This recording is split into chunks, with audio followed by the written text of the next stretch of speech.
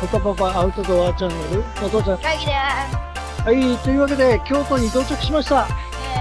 えー、奈良の、奈良公園から今、京都に移動して、京都駅の近く、当時ですね、の近くにあります、えー、ロワジール、ロワジールホテル、もう間もなく到着です。長旅でしたね。じゃあ、あ、見えましたね。ロワジールホテル。あれ？うん、京都駅も近いんでね、後で、コータはもうこのまま今京都駅行ってます。またわけわかんない電車を撮影しに来ました。では一旦チェックインして、一回落ち着いてからご飯を食べに行きたいと思います。はい、ロワジールホテル、到着。こんな感じ。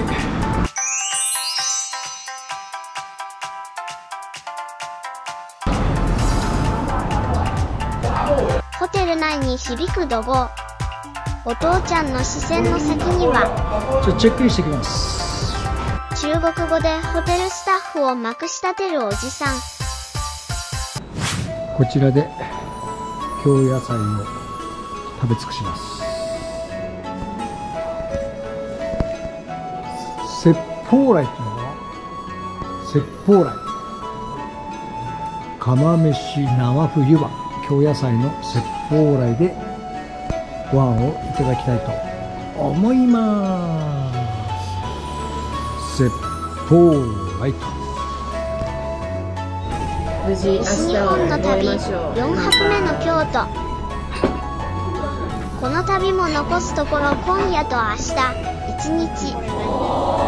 短い滞在時間ですが京都を楽しみましょう。ということで京都といえばやはり京料理京野菜をはじめとする京都の代表的な料理がいただけるこのお店をチョイスしました。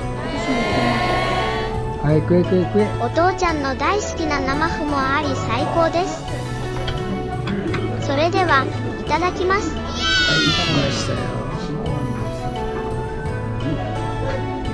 淡路島って言ったでしょな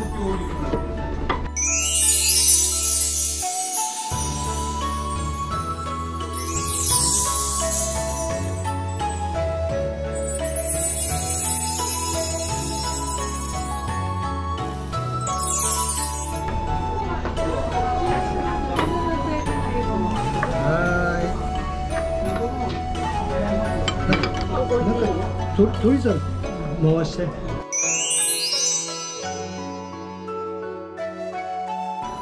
食えばわかる。じゃあ。テーブルが京料理で彩られていますよもぎです。残念。よもぎよもぎも好きだからいい吹きのとどれだっ吹きのとこれけこれ白味噌吹きのとでお前らはじ食ったことねえ子だろ供たちは初めての生麩ですね。お父ちゃん生麩大好きだろ食感が餅みたいで大好きだうまいだろ？うまいだろ？ママだって食ったことないっていうかさ俺が食おうとしてるんだよねおいしい美味しいだろ。そのソースないうんこのもちっとしたみんな生麩に大絶賛ですたまんないな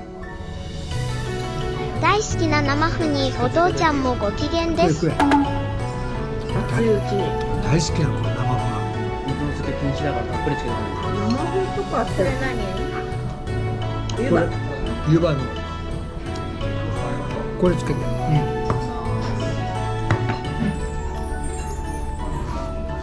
どう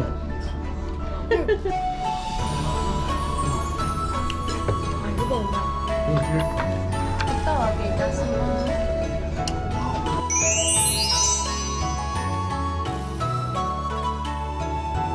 京都だ。これは京都だ。京料理の素材を生かした優しい味付けがたまりません。こ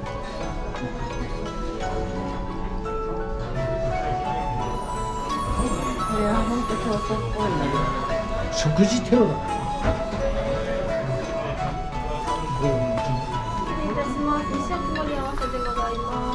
また何か運ばれてきましたよ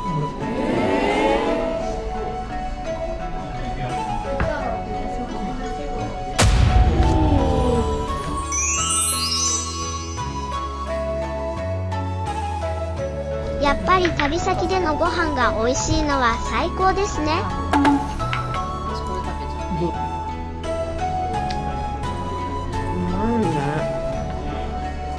実はお父ちゃんこのお店に向かう途中でちょっとした段差につまずき転倒したのだが見事な運動神経で柔道の受け身のように一回転し怪我を回避し何事もなく素晴らしい身のこなしを披露。56歳でその反射神経はただものではありません。こ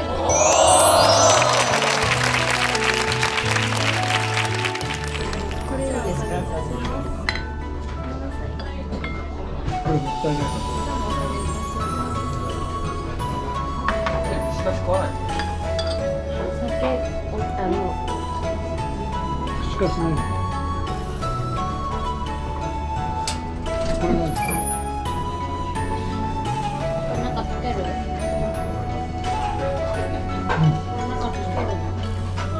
ご飯が美味しいとお酒も進みますね。普段お酒をほとんど飲まないお父ちゃんですが今夜は結構飲んじゃってます。あちょうど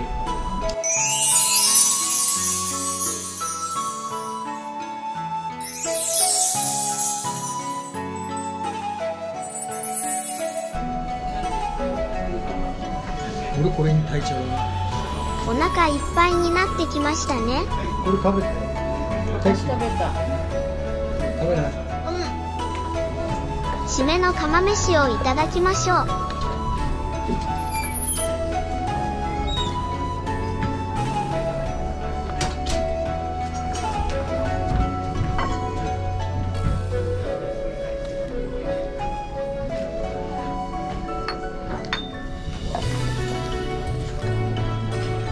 がまた出汁が染みてて美味しいんです。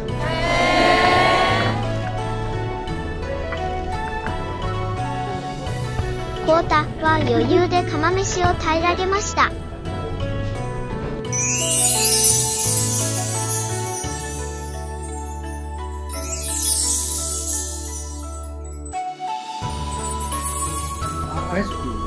デザートのアイスクリームも京都らしく和風なものを選んでみました。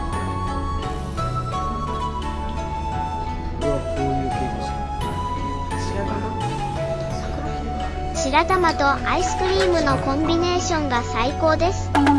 子供たちは揃って桜アイスをチョイス。お父ちゃんは桜系の食べ物がちょっと苦手なんです。でもコータは桜系の食べ物は大好きですよね。黒豆はもちろん。丹波の黒豆です。丹波の黒豆うまい興味津々の大輝が黒豆を食べてみます。果たして良さがわかるでしょうか？タイちゃんの大好きな黒豆。美味しゅうございました